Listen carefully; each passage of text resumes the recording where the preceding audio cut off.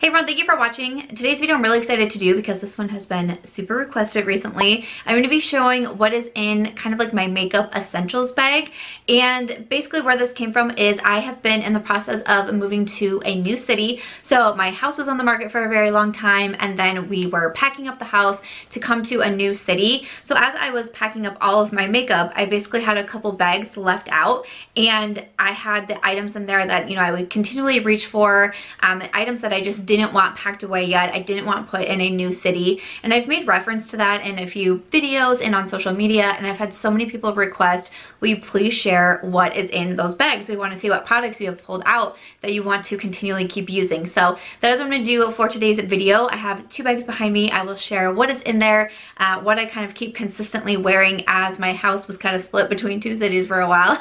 and uh, yeah, why don't we just go ahead and jump into it. So I have two different bags here. So I have this one here. It's from Victoria's Secret. I've had it forever. And then I have this pink one here that I was also putting some items in, which I honestly, I don't even know where I got this one, but I've had it for a very long time too. So in addition to these two bags, I do also do a Shop My Stash series on my channel every single month. So I did also have that bag pulled out onto my desk as well. I can link my most recent Shop My Stash if you want to see it. So between these two bags and then the Shop My Stash, I felt like I had plenty of options for each category. A bunch of lip products on top, so I will go through these. I of course gave myself a lot of options with lip products, of course.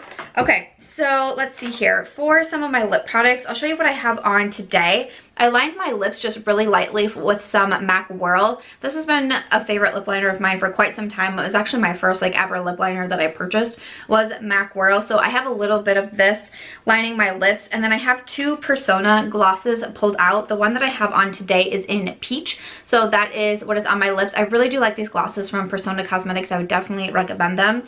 I like Peach and then I also have Toffee pulled out. I can't find Honey. honey is, is actually my favorite out of the three because because it's just like a really nice nude. I think it probably got packed into a box and then I couldn't find it anymore. And I was trying to review these in my most recent Makeup Monthly and I could not find Honey. So I pulled out Toffee and then I started wearing Toffee. And then Peach is a really nice kind of like springy color and I felt like it would go with this look pretty good because I have some corals on and such. Um, so I just keep reaching for Peach and Toffee now because I'm going to be excited to unpack so I can find some things that I have not been able to find for a while. And Honey is definitely one of them. And then some more lip products. I, of course, have my ColourPop Oh Snap lip liner. This, of course, was not, this, of course, had to, to be with me. It couldn't be packed into the next town. I was like, nope, ColourPop Oh Snap. Like, look at how tiny this is. It started off as like a regular size pencil and I just sharpen it so much because I wear it all the time. Uh, I, of course, also have from Marc Jacobs. This is the Mocha Chocolatte Lip Gloss Stick. Love this as well, especially with Oh Snap. I think that it's beautiful. A recent product that I've been loving, the Bite Beauty Flat White Lip Gloss. I reach for this so often, either with Whirl or with Oh Snap. I like them both but I've definitely been reaching for that one quite a bit. And then two of my absolute favorites, these really don't go anywhere without me. And usually these are also in my purse. I just like to always have options in my purse for if we just go somewhere quickly, I always have something in there. If I didn't put on lip product or if I need to touch up, these two are usually in there, but that means that they're essentials to me. So I thought that I would share them in here. That's the Dose of Colors Liquid Lipstick in Truffle, absolute favorite of mine, and also Charlotte Tilbury Pillow Talk. So I have a liquid lipstick and also um, a, you know, regular bullet lipstick that is in more of a matte formula. So I just love these lip products, so they definitely have to come with me. Uh, a few more lip products too that I have in here, the ColourPop Lip Scrub, the Lippy Scrub in By the Bushel. I, I like to just have this um, by my side for if I ever need to exfoliate my lips. It's really nice to be able to do that. So that's why I got tossed into my essentials bag. I reviewed this one recently as well, but it's just nice to have close to me. And then also the Laneige Lip Glowy Balm. This is in grapefruit. So I've been trying this one out recently as well. And again, it's just something that I like to have pulled out, um, easy to have if I ever just feel like I need a little bit of like hydration, nourishment to my lips. I can use the one from Laneige. Like if I don't want to scrub, I can use the one from Laneige. So those are, I think, all of the lip products that I have out. I know those quite a few. Nope, nope, there's another one. The NARS, yep. The NARS Afterglow Lip Balm in Orgasm. This has just been a favorite for a long time and usually this one is actually also in my purse is where this one usually goes. So I also wanted to pull that one out. I've, I've really loved on that for quite some time. Uh, let's see, four, I see some concealers on top here. I have four concealers. Makes sense. Uh, so for concealers, I feel like I have so many because a lot of times if I'm just doing something quick and easy, I'll just use concealer. I won't use foundation. I only have one foundation and one CC cream and then four concealers. I recently posted kind of my everyday go-to glam glowy makeup look. I can link that one also. And that has kind of become my routine right now with just like this unpacking process and just and meeting people and not having a ton of time especially a lot of time to do my makeup. I want to do something fast and easy but i look like pulled together and you know really presentable. So i thought it would be fun to share a video like that. So that's what i did in last friday's upload. Uh, but uh, for my concealers, I of course have the Too Faced Born This Way. This is my one where if I'm not wearing foundation, I'll go with this one because I just feel I just feel like it looks so good on the skin. I've done like my 10 minute makeup routine as well where I don't use foundation and this is the concealer that I'm using. It just blends so easily. It's nice and hydrating but you still get really good coverage at the same time. So of course the Too Faced Born This Way was definitely in there. Uh, also a favorite of mine, the Jouer Essential High Coverage Liquid Concealer. This one had to stay out with me as well because it's just another favorite of mine. This is really nice and full coverage. It's not as hydrating as the Too Faced, but I just really do enjoy the coverage and how it kind of sets on the skin. I think that it's beautiful. And then I have two new ones um, kind of that I've just been trying out. So the e.l.f. 16 Hour Camo Concealer. I am trying to get a review ready for this one, so that's why I wanted to pull it out. It is what I have on my under eyes today. And this one here from Estee Lauder, I did just review it in my Makeup Monthly, but I still have it around. This is the Double Wear Instant Fix Concealer. I actually really like it, especially for this hydrating side. So it's a double-ended product and you have this like hydrating serum on one side with like a brush tip. And I feel like in the early mornings, especially when we had days where we were traveling from one city to the next city, I was doing my makeup in the car a lot with as my husband was driving, I would do my makeup in the passenger seat. A lot of times I would prep my, my under eyes with this side and I just feel like it makes the concealer go on so much smoother and just, I don't it just kind of made me feel a little bit better about life, you know? Uh, I do like the concealer side. It doesn't have as much coverage as I tend to prefer, but it's really hydrating. It's a very liquidy concealer as well. Uh, but I have to say that it's kind of made it um, sticking around in my bag because of this hydrating side, which I kind of thought was gimmicky at first. So it's funny that that's why I've ended up really enjoying the concealer. But those are a few of my concealer options. I have some different powders in here. So I have a loose powder and a pressed powder. I have the one from Charlotte Tilbury. This is actually in my 9 in 2019 project pan and I have the pan on it like I shared in my most recent update. Uh, but it's just a nice lightweight powder. Um, so I grabbed this one out to keep going into my bag. And then I also have this little guy here from Fenty Beauty. I just got this recently. I think it was like a point perk or a bonus offer from Sephora. So just a little guy, so it's nice to be able to throw into the travel bag. I really do like it. I've only tried it a handful of times, but again, I want to be able to review it. So that was why it was good to put into the bag. And then again, I have some options between a loose powder and a pressed powder. It's so interesting to me how different I feel my lighting setup is over here, my camera settings are the same and I still have my two softboxes and they're pretty much in the same location as they were in the old place, but I feel like my videos look so much cooler than they did previously. I felt like those videos had like a warmer hue to them. And again, I've changed nothing with my settings or my lights. I don't know, it's so interesting to try to get used to it, but it's all good. We're just doing our best. For blushes, I have a few few options on here as well. Uh, I of course have the Jouer Blush Duo in Adore Me, I believe this one is. So you have two different options. Really love the compact. I love that I have a mirror. Uh, I did actually at one point pack up my mirrors not thinking to leave one handheld mirror out. So I also have the bronzer duo pulled out in here and those have been really handy or like ones that came in my eyeshadow palettes because I was like, hello Samantha, why would you pack up your little mirrors? Both of them. I have two mirrors and I packed them both away instead of putting them into like my essentials bag or even just throwing one in my purse. I packed them both in boxes. Not smart. Okay, so I have this one from Jouer. I also have from Natasha Denona the Mini Blush and Glow. I used this in Friday's video. So you have a glowy blush and then also a highlighter in here. And then also, of course, you are gonna see the Buxom Seychelles blush. I love this blush. I've been talking about it so much recently. It's a beautiful glowy blush again as well. I think it's stunning. The blush I have on today is the one from the Jouer palette. For my primers, I have this one here from Charlotte Tilbury, the Wonder Glow Instant Soft Focus Beauty Flash. I've talked about this a lot on my channel. It is such an expensive primer. It's ridiculously expensive, but I wear it all of the time. Like I wear it so often often. And uh, it gives such this like beautiful glow to the skin. I can wear it alone. I can wear it if i'm just using concealer. Like if i have the day where i'm just using concealer not foundation i almost always like 99 percent of the time this is the primer i'm going in with first and it just gives like this glow to the skin and it's beautiful. And i also have in here a mini this is from smashbox the photo finish primerizer. I'm almost out of this guy. Just one of my favorite primers so i thought if i didn't want something like kind of as glowy and intense as the charlotte tilbury i could use use the Smashbox. Still get a lot of nice hydration with it, and I still think that it's a really good primer. So gave myself a few primer options. And then like I said, I only have one foundation in here and that's from Wander Beauty. I've just been loving this foundation. I recommended it in my Sephora VIP sale recommendations video. I just keep wearing it and wearing it and wearing it. So again, I haven't been doing a lot of like full on looks um, just because of everything that we've been doing and just time constraints and all of that. So I only threw one in my essentials bag and it's the one from Wander Beauty. I have the CC cream. This is from Erborian. I also used this in Friday's video. Just a nice lightweight CC cream kind of evens everything out and I've really been quite liking this one. Uh, let's see, I have a my brow products in here. I just threw in the Goof Proof and the Precisely My Brow. I just, these are just what I wear all the time. I have Precisely My Brow and my brows today, but I knew that these two had to be pulled out because they never let me down. For highlights, I had to give myself some highlight options also. oh boy. Okay, so from Dose of Colors, I have the I Love Sarah E in Bathe. This is the one that I'm wearing today. This one gives a little bit of a pink hue to it. And again, I do like the compact on it, and this one does have a mirror, which I quite enjoy.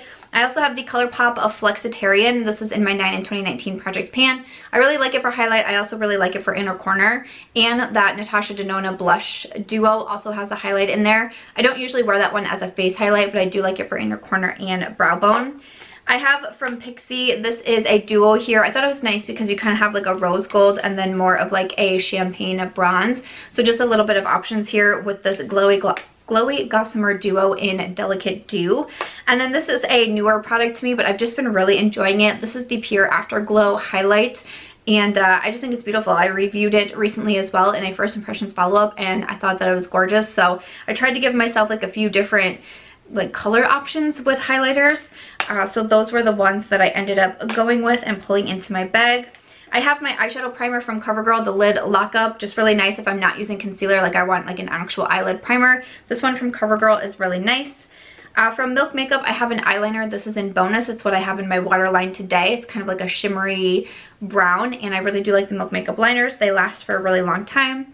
If I wanted to do a liquid liner, which I've been doing a little bit more of like winged uh, liner looks recently, I have the Benefit Roller Liner Eyeliner. So a nice liquid liner option. And then for mascaras, I have three of them pulled out. The CoverGirl Exhibitionist. Again, I reviewed this recently. It's a really solid mascara. It doesn't flake on me. I think it's great. I also have the Benefit Bad Gal Bang. It's not necessarily a favorite mascara, but it really makes my top lashes super long. I get transfer on the bottom lashes, so if I'm using this on the top, I'll generally use the CoverGirl on the bottom, but it just makes my lashes look really, really long, and I haven't been wearing a ton of false lashes recently just because I don't have time for it, and they're all packed and all of that. So if I want super length, like super lengthy lashes, you know what I mean? Uh, then I'm going with that one from Benefit. And then this one is also from Wander Beauty. This is the Unlashed Volume and Curl Mascara. Again, kind of one that I've been testing out, but so far I really have been quite liking it. So I'm trying to get a review going for this one. So I threw it into the Essentials bag to try out. So that's everything in this first bag. And let's jump over to the second bag and then finish this off. Actually, I had one more mascara pulled out, the ColourPop BFF mascara. This is what I used today. I was testing it out. I did review it and I like it. Again, it's not like an absolute favorite of mine, but it makes my lashes kind of like fluffier, which I do appreciate. I get a little bit of flaking after a while, but um, I also did have this one. It just spilled out onto the floor. And then also my setting spray that I've been using. This is from MAC. It's one of their Fix Plus. This is the lavender one.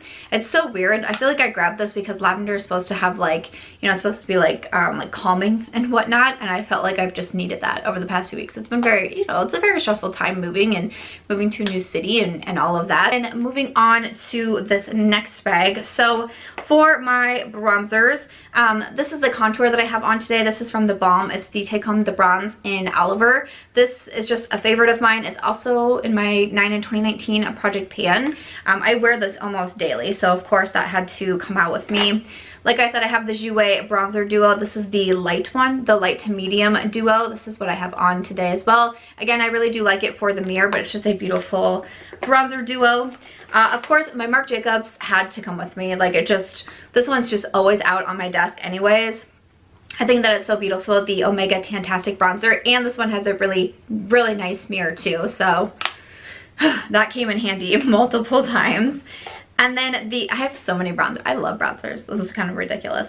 But the Milani bronzer, the uh, Sunlight, the Silky Matte bronzer in Sunlight, this one has been so good. So many people have been raving about this bronzer recently and I really do enjoy it. Uh, I can also use this as a contour as well because it's a little bit more cool toned.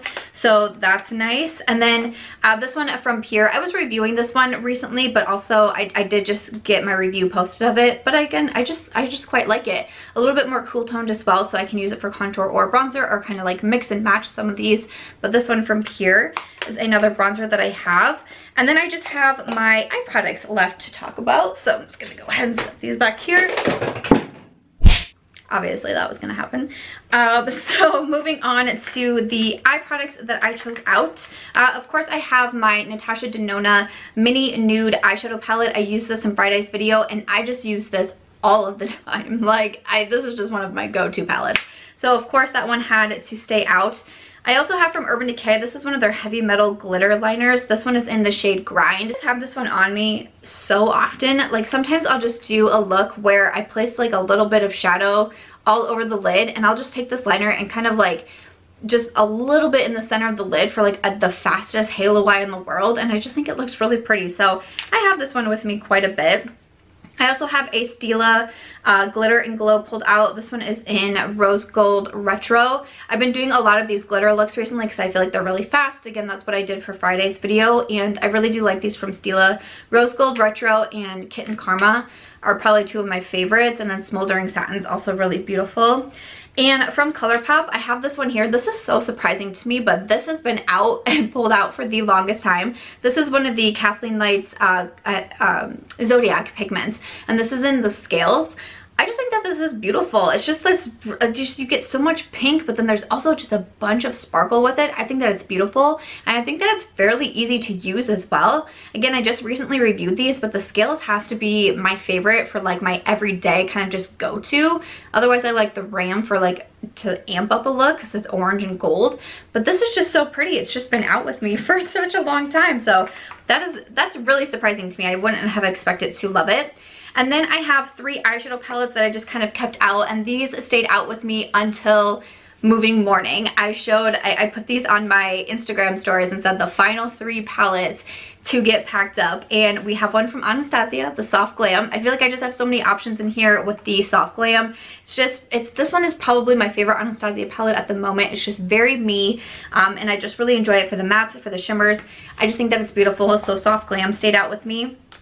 Also, the Urban Decay Naked Reloaded. I really quite enjoyed this palette. I put it in my most recent palette ranking video and I was like, I know there's a lot of, there's a lot of different reviews out there right now for it, but some of the reviews are not so great, but I actually quite enjoy it. I've been reaching into this one quite a bit. I like it and I wanted it to stay out with me, so it did. And then the palette that I have on my eyes today, if you were curious about my eye makeup, the ColourPop Sweet Talk palette. This was in their spring collection. Again, I put this in my most recent palette ranking video and I think that it's a beautiful palette. I have a little bit of Meadow and in case you missed it, so these two corals right here and then the glitter I have is in Early Morning.